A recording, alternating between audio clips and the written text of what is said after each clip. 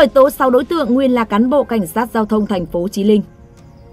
Quý vị thân mến, cơ quan cảnh sát điều tra công an tỉnh Hải Dương đã khởi tố vụ án, khởi tố bị can, bắt tạm giam đối với 6 đối tượng nguyên là cán bộ thuộc đội cảnh sát giao thông trật tự công an thành phố Chí Linh về tội lợi dụng chức vụ quyền hạn trong khi thi hành công vụ.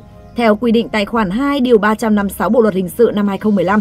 Vụ án xảy ra ngày 4 tháng 2 năm 2023 tại thành phố Chí Linh, tỉnh Hải Dương. Các đối tượng gồm Bùi Mạnh Tuấn, Nguyễn Văn Bằng, Nguyễn Văn Tuấn, Mạc Quốc Vương, Nguyễn Thành Trung, Trương Mạnh Đăng. Cùng ngày, Viện Kiểm sát Nhân dân tỉnh Hải Dương đã phê chuẩn các quy định trên. Cơ quan Cảnh sát điều tra Công an tỉnh Hải Dương đang tiếp tục điều tra vụ án để xử lý nghiêm các tổ chức cá nhân liên quan theo đúng quy định của Đảng, của pháp luật và của ngành công an với quan điểm không có vùng cấm, không có ngoại lệ bất kể người đó là ai. Lợi ích công đẩy lùi nỗi sợ hãi Thưa quý vị, Vừa qua, tại hội nghị cán bộ công chức viên chức của ngành lao động, thương binh và xã hội, Bộ trưởng Đào Ngọc Dung đã nhấn mạnh tinh thần không đùn đẩy, né tránh sợ sai, sợ trách nhiệm. Trong bối cảnh nước ta hiện nay, tinh thần nêu trên là thông điệp cần thiết không chỉ với riêng ngành lao động, thương binh và xã hội. Vào Google tìm kiếm với cụm từ không đùn đẩy, né tránh, sợ sai, sợ trách nhiệm thì sau 0,42 giây sẽ cho ra 8 triệu 210 nghìn kết quả liên quan.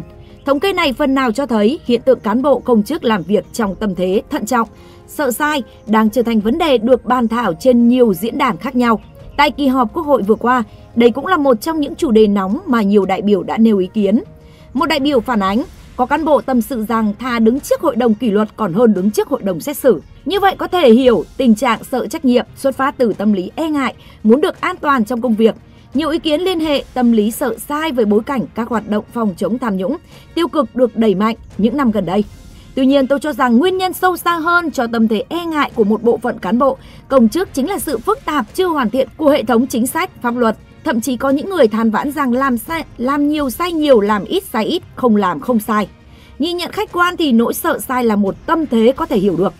Bởi lẽ mỗi cán bộ, công chức, viên chức đều có lợi ích cá nhân chính đáng, có khát vọng hoài bão thăng tiến trong sự nghiệp.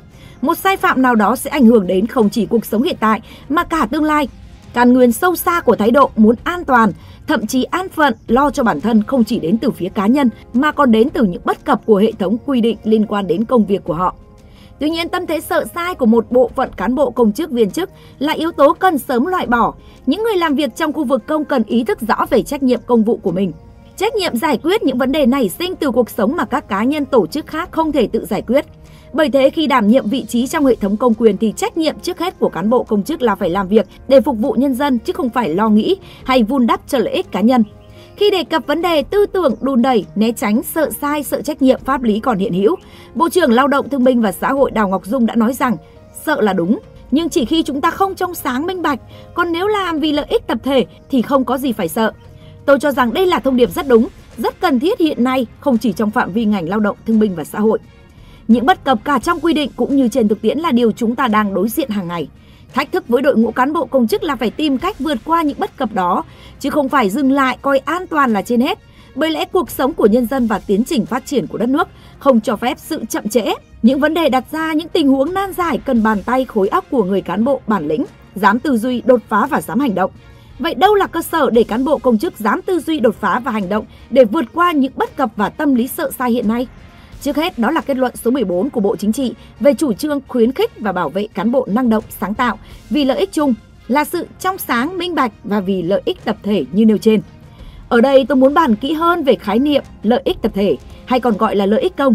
Lợi ích công là lợi ích chính đáng của nhiều chủ thể, cá nhân, tổ chức nhưng bản thân mỗi chủ thể đó lại không thể tự giải quyết được bởi thế họ cần hành động can thiệp của cơ quan công quyền để bảo vệ lợi ích cho họ. Như vậy, một quyết định được ban hành dựa trên lợi ích công sẽ đem đến lợi ích cho nhóm thụ hưởng cụ thể, chứ không phải gia tăng lợi ích cho những người ban hành và thực thi quy định. Với tư duy đó, lợi ích công chính là yếu tố bảo đảm cho những người dám nghĩ, dám làm. Hành động dựa trên lợi ích công có được sự chính đáng và đúng đắn bởi người ban hành và thực thi quyết định, không những không vụ lợi mà họ đang nỗ lực vượt qua những bất cập hiện tại để phục vụ người khác cũng vì thế, lợi ích công chính là cơ sở để những người bản lĩnh dựa vào đó và có thể tìm ra những giải pháp linh hoạt, đột phá cho các vấn đề nan giải và tâm lý sợ sai hiện nay. Cuộc sống luôn vận động và các vấn đề nảy sinh luôn có xu hướng ngày càng phức tạp, nan giải hơn. Chính bởi thế mà hệ thống chính sách, thể chế do nhà nước ban hành sẽ luôn bộc lộ những bất cập, đòi hỏi khả năng tư duy vượt ra khỏi các giới hạn của đội ngũ cán bộ, lãnh đạo, quản lý, công chức, chính quyền.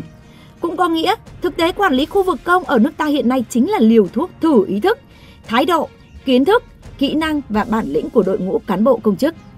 Lợi ích của nhân dân, của đất nước không cho phép sự đun đầy, né tránh sự phức tạp của cuộc sống cũng như sự bất cập của hệ thống thể chế, chính sách. Chúng ta đã từng có một bí thư Kim Ngọc dám vượt qua những bất cập thể chế nhất thời để hành động vì lợi ích chính đáng của nhân dân, góp phần quan trọng vào sự thành công của tiến trình đổi mới đất nước. Những cán bộ lãnh đạo như Bí thư Kim Ngọc không chỉ đem lại hạnh phúc cho nhân dân mà còn gia tăng uy tín chính trị cho Đảng.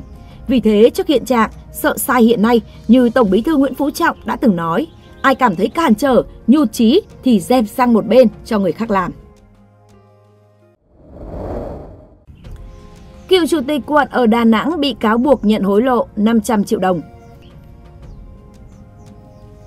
Quý vị thân mến, mới đây Tòa án Nhân dân thành phố Đà Nẵng mở phiên tòa xét xử sơ thẩm với bị cáo Đàm Quang Hưng, 59 tuổi, cựu chủ tịch Ủy ban Nhân dân quận Liên Triểu về tội nhận hối lộ. Cùng hầu tòa với tội danh đưa hối lộ và làm giả con dấu tài liệu của cơ quan tổ chức còn có hai bị cáo, Trần Thị Phương Dung 49 tuổi, chú quận Hải Châu và Tôn Thất Huy Minh 47 tuổi, chú quận Liên Triểu Đà Nẵng. Theo nội dung vụ án, năm 2014, Trần Thị Phương Dung mua của Nguyễn Danh Trung, 42 tuổi, chú quận Liên Triểu, hai thửa đất liền kề, có tổng diện tích 414 m2 tại phường Hòa Khánh Bắc, quận Liên Triểu. Thực tế đất này thuộc quản lý của Ủy ban nhân dân thành phố Đà Nẵng chưa giao cho tổ chức cá nhân nào. Sau đó, Trần Thị Phương Dung bán cho Tôn Thất Huy Minh với giá 4 tỷ đồng. Cam kết ra sổ trong 60 ngày, nhận cọc xong Dung giao cho mình một bộ hồ sơ gồm đơn xin giao đất, sơ đồ vị trí đất có chữ ký, dấu xác nhận của Ủy ban nhân dân phường. Ông Minh bán lại thửa đất cho bà Nguyễn Thị Thanh Hương, Việt Kiều Belarus giá gần 5,8 tỷ đồng, cam kết ra sổ trong 90 ngày, bà Hương đã đặt cọc tiền cho Minh. Theo cáo trạng, bà Hương không phải là người khai hoang thửa đất trên nên đã hoàn tất thủ tục xin cấp giấy chứng nhận quyền sử dụng đất.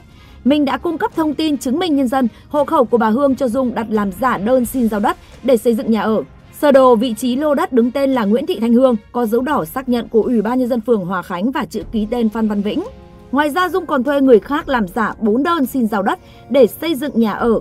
4 sơ đồ vị trí khu đất xin giao có dấu đỏ xác nhận ghi Ủy ban nhân dân phường Hòa Khánh, chữ ký tên Phan Văn Vĩnh đối với lô đất có diện tích 414 m2 tại phường Hòa Khánh Bắc. Dung và Minh đã thống nhất cùng bà Hương chuẩn bị và đưa số tiền 500 triệu đồng cho ông Đàm Quang Hưng, Chủ tịch Ủy ban nhân dân quận Liên Triểu lúc đó, nhờ ông Hưng hoàn tất các thủ tục cấp giấy chứng nhận quyền sử dụng đất cho bà Hương.